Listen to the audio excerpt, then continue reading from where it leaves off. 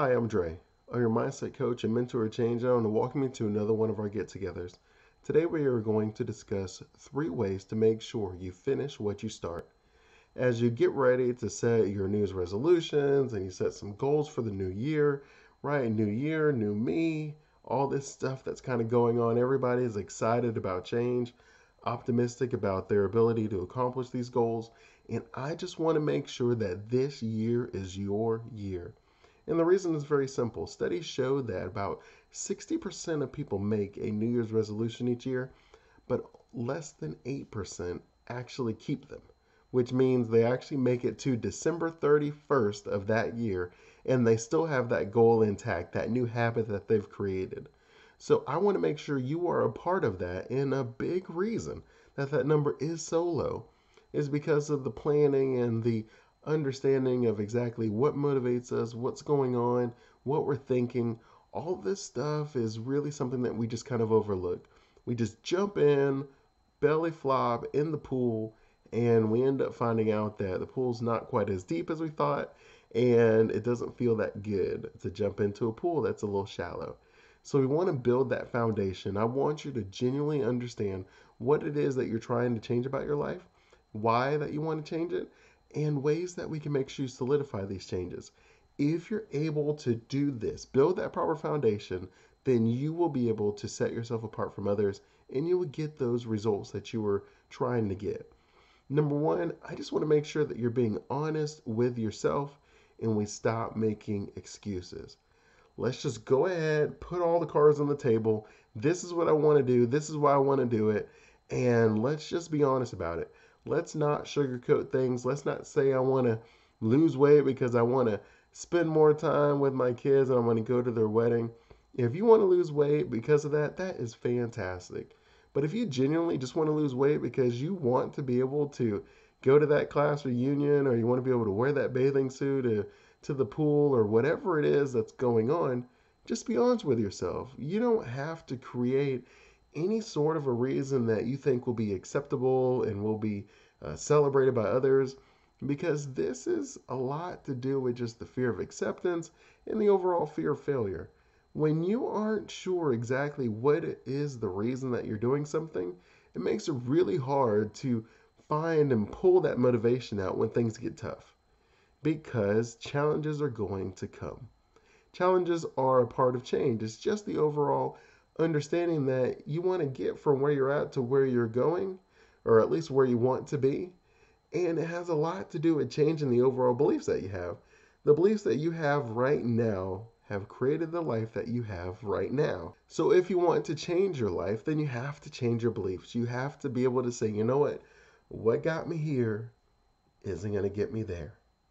And so I have the a couple studies that I actually read, and one of them talked about a way to get a 300% increase on the likelihood of you being able to solidify any change that you want to make in your life. And it's a very simple process. It's called an if then plan. And all it is is a little bit of preparation ahead of time so that you're able to already have the plan in place that you're going to action anytime a temptation or anytime something kind of throws you off your game you are going to be ready so that you don't quit, so that you don't start procrastinating and start re uh, second guessing. You want to make sure that you're able to stay firm, stay focused, and trust in yourself. And if the if then plan is very simple. All you're going to do is, let's say you wanted to um, stop eating unhealthy. Like every time you go out with your coworkers, you always feel peer pressure to order something that you actually don't want to eat. So very simply in the if plan, you'd be like, if I go to lunch with my coworkers, and then you add the then to the plan, then I'm going to order a salad. And I know it sounds simple, and you're probably thinking, Dre, that's not going to work. But I'm telling you, if you prepare ahead of time, if you set the if then plan in motion, studies show that it will increase up to 300% the likelihood of you sticking with your goal.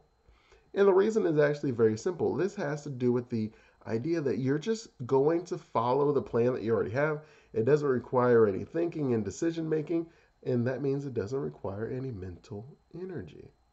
I've already mentioned it to before. When you use your mental energy, it drains. It's an exhaustible resource.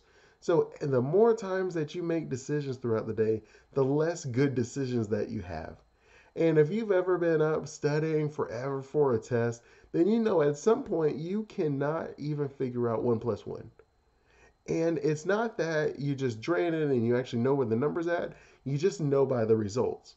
And so it's no different when it comes to anything that you want to do in life. If you're trying to be a more considerate person, and maybe you need to schedule all your meetings early in the morning. And the reason is very simple. You're full. Your energy meter is full. Your your willpower meter is full. And anytime that you have to make a conscious decision, i.e., I'm not going to do what comes natural, then it drains your mental energy. So if you want to be nice and considerate because someone was a jerk to you and you're trying to change that around, well, that requires mental energy. So if you only talk with them around the end of the day, well, your energy's already drained, so you're going to revert back to what's natural. And that is clearly just letting them know that you could care less about them. Well, instead, if you have your interactions in the morning, or at least you automate enough of your life where you can save your mental energy for those afternoon interactions, it's going to go a lot better because your willpower meter is full.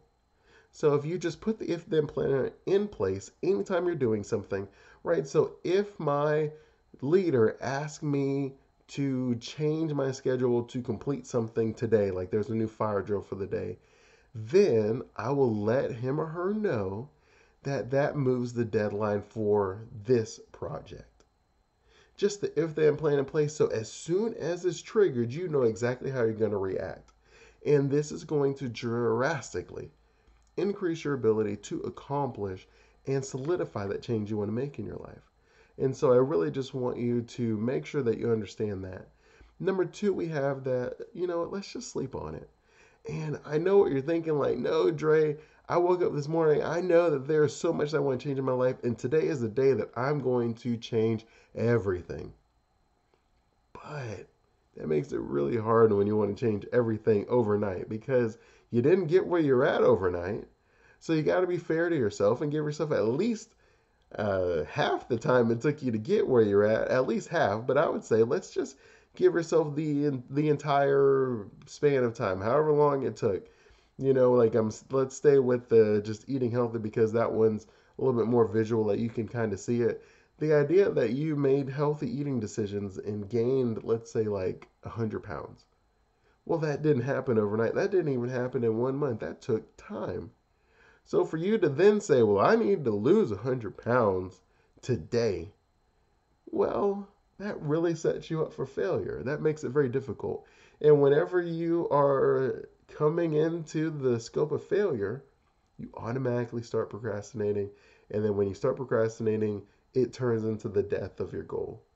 And if you want to be able to finish what you start, then you have to be able to say, I'm going to be patient with myself. It didn't happen overnight. It's not going to change again overnight. I'm going to do one thing at a time. I'm going to follow through to completion.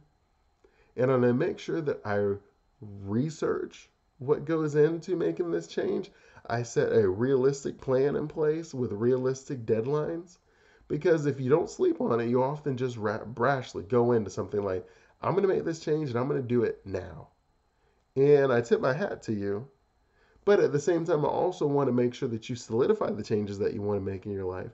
And the best way to do that is to wrap your mind around the plan. If the plan requires two weeks of this, three weeks of that, a small investment here, meeting with this group, just understand whatever it takes for you to make that change. And it really helps you to absorb. You become able to see the result. You actually can see yourself following the plan, following the blueprint, and getting the results. When you don't take that first step of making sure that you at least just think about it, sleep on it, really contemplate what goes into making this change happen, well, you end up getting discouraged very easily. Because what we naturally do is we see other people and then we just automatically think, I want that result. And they have that result, so I can get that result, which is fair. But if you took a moment to say, well, what did they do to get that result? Well, now we're spot on. Now it's not just about being fair, now it's about being realistic, understanding things. Again, procrastination is the result of you feeling that something is going to happen that I don't like whether that's failure, rejection, or just any all overall uncertainty. If you take the time early, understand the changes you want to make, understand your motivation, put the plan in place, set realistic expectations and goals and timelines. Well, now the fear of uncertainty is almost all but gone. The fear of failure is almost all but gone because you're following a proven plan that you have seen work and you know that it can work, so it will work for you. Just devote a little bit of time in the early goings. Don't just jump in rashly. Make sure that you understand what it takes for you to solidify that change you want to make in your life. And you'll find that it will drastically increase the likelihood of you finishing what you started. And number three, you just want to make sure that you follow your core values. Your core values, we often end up misinterpreting what our core values are, right? It's basically, I would say, think of adjectives that you would use to describe yourself. So you could say, I am a creative person, I'm a considerate person, I'm a compassionate person, I'm an understanding person, I believe in unity, I like stability, structure, right? Things like this will help you understand some of your core values. And then you put the goal and the transition that you want to make against that core value. And if it checks off all of your core values, then you know that it's something you should go after. If you go and do something that's against your core values, let's say you were just chasing money. So you're like, look, I really don't enjoy rejection, but I'm going to go ahead and take a sales job where they say the conversion rate is something like 5% because they said that you'll make like 500,000 a year. Well, if you are someone who really enjoys connecting and interacting with people, and you don't really like to be um, in any sort of an obstacle, then it makes it very hard for you to sell to people. And the reason is very simple. When you sell to people, sometimes they tell you exactly what they need, you offer them exactly what they need, and they don't take action. And it's just one of those weird things that you, I don't really know exactly why, but we've all done it where we know exactly what we need to do. We know exactly how to do it. We've seen the solution. All we have to do is go grab it, but we just don't take the action. So, in that sense, if, you know, for me, for example, as someone's coach, when people understand exactly what they want to do and what they need to do, and we come up with a plan to do it and then they don't do it, well, it's up to me to hold them accountable, which could be seen as being confrontational, but my goal is to help you achieve your goal. And sometimes that requires me to bring to your attention that what you're doing is sabotaging your ability to accomplish your goal. So when you're a salesperson, sometimes that means that you have to let people know that this is a no-brainer. This is exactly what you asked for. It's exactly at the price that you need, and it does everything that you said you needed to do what what's the problem? A, they don't exactly know what they need and and maybe you're able to have some deeper conversations and help them realize that that's not what they want like that's why they're being apprehensive. But a lot of the times it really is kind of that let's see what we can do that based on what you said you want to do. And then okay so now you want to do this let's see what we can do based on what you want to do now. So I, I say all that to say that if your core values aren't aligned with what it is that someone has to do to get that particular outcome, then you're going to find it very difficult for you to keep going. You're going to feel miserable in certain situations. And you just don't want to do that to yourself. You know, if you're someone who enjoys stability, who enjoys relationships, connections, and unity, then it'd be very difficult for you to have a job where you are by yourself on the road traveling 60% of the time. It's just very difficult. You need the stability. You actually like the structure of going into an office and there being some set standards and parameters and tasks. And you have to find stuff that's aligned with that core value. If, on the other hand, maybe one of your core values is family, but the promotion that they offered you requires you to work like double the hours a week. So you got to work like 80 hours a week and it's going to mean that you miss everything the baseball game, the soccer game, the jazz, tap, ballet. You're going to miss it all. Are you okay with that? Well, if you make this, if you make the decision and say yes early, don't be surprised that you end up dealing with stress, some resentment, exhaustion, All these negative emotions and feelings are coming in because you're doing something that's counterproductive to your core values. So you just want to make sure you understand what your core values are and then you don't sacrifice them. Stick to your core values. You will find that there is more than enough money, more than enough opportunity in the world for you to make a living doing something that you enjoy doing. That does not compromise your core values. And I know that I've dealt with lots of people where in the early goings we were all sort of told that if you get the certain education, then you're going to make a ton of money. And as a result, there's a lot of us who make decisions based on this belief where we spend a mortgage getting an education and then we end up thinking immediately, I have to get a job to pay some of this debt off. I mean, I get it. I was completely there. When you have a mortgage of student loans to pay, it's one of those things where you're like, well, how do I have time to make any decision other than following the money? And I think that that's a fair and it's an honest calculation. And when that's happening, then you're you're really dealing with just the fear of uncertainty and the overall fear of worst case scenario. The worst case scenario is, Dre, if I pursue exactly what I'm passionate about, nobody's going to pay me to do that. But I keep finding that that's not quite the truth. I keep seeing it over and over again where people are making livings doing what they enjoy doing all the time. I remember watching um, this TV show where they have like young entrepreneurs. I think it was The Big Idea with Donny Deutsch. That it's a very old show, but I used to watch that as a kid. And I remember some girl coming on there. She couldn't have been more than 10 years old. And she was talking about how whenever she went to the movie theater, they got popcorn and all the butter was on the top and there was none on the bottom. And long story short, she ended up creating what looks like a straw and has holes in it. And it just she just puts the the butter in the straw and then it comes out little holes. And because the the straw comes from the top to the bottom, now the butter is dispersed evenly throughout the entire container. And she ended up getting a patent for that, and it was put in a lot of movie theaters. And now, and now they're able to put the butter evenly throughout the bottom to the top of the container. And if she was talking to someone about this early on, they'd probably be like, come on, no one's going to pay for that. It's a problem, but it's not that big of a problem that people would pay for the solution. The movie theater is still selling the popcorn just fine. It hasn't caused any margin issues, so they're not going to pay for that. Well, they would have been wrong. And so what I'm saying is, is as long as you're true to your core values, then you'll find that you have that extra oomph to get across the finish line. Because again, you're going to find challenges, but understand these challenges are opportunities. If you are doing something that you don't really want to be doing, when you find a challenge, you're going to say that that's proof that you shouldn't be doing it. I remember that when I was going to join a fraternity in college, because the girl I was dating at the time liked that fraternity. And when I called them, they basically gave me a little bit of pushback. They were like, Well, you're like a sophomore, so why are you joining a frat? Mostly freshmen join the frat because of you know the rituals and the hazings, et cetera, et cetera.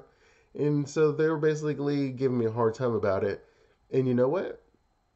I just assumed that they weren't going to let me in, and I basically said thanks for your time, and that was the end of it.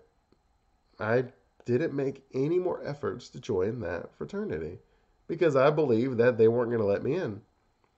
But the true belief is I wasn't interested in being in that fraternity. Because if I was, that would not have stopped me. I'm like, look, I understand that it doesn't happen very often, but it happened today. I am an upperclassman and I'm interested in being in this fraternity, and I'm going to do whatever it takes to prove you wrong. It really is just that simple. It's the beliefs that you have that create your actions, as I always tell you guys. So the belief that I had was I'll join this frat because this girl wants me to be in this frat. Not that big of a deal. I'm not super interested. So as soon as I faced any opposition, I just was like, mm, no, thank you. Obviously, this isn't something that I am meant to do. You bring up excellent points on the fact that I'm doing it late. But if it was something I was genuinely passionate about, something I was genuinely interested in, something that went with my core values, there's no one that's going to say anything that's going to keep me from doing what I set out to do. And you'll find that a lot of the times when we're dealing with a lot of this stuff, that we're actually just subconsciously not all that into it. And that's what makes it really hard for us to keep going. So, very simply, if you want to start something and finish it, you have to number one, make sure that you're being honest with yourself and stop making excuses. Number two is you're going to make sure that you sleep on it. Don't just run in without thinking about it. Make sure you have a plan, understand everything that goes into it. And number three, you want to make sure that you follow your core values. If it's something that you actually want to do because you want to do it, then you will be set to finish and follow this thing through to the end. If you are just doing this because society told you it was a good idea, because another person, a family member, or significant other told you it was a good idea, as soon as you face opposition, you're gonna give it. You're gonna give up. You're just gonna be like, you know what? This isn't meant for me. So you just want to make sure that you follow these three strategies because if you do so, you will get the results that you want and you will be able to complete and accomplish the goals that you set for yourself each year, each month. You don't have to wait for the new year. You can do it whenever you want. Again, I'm always thankful for our time together. I'm Dre. I'm your mindset coach and mentor change. If you have not already done so, like it, share it, leave me a comment. I always love hearing from you. I'm thankful for your time. Until then, continue blessings on your journey to become the champion of your dream life.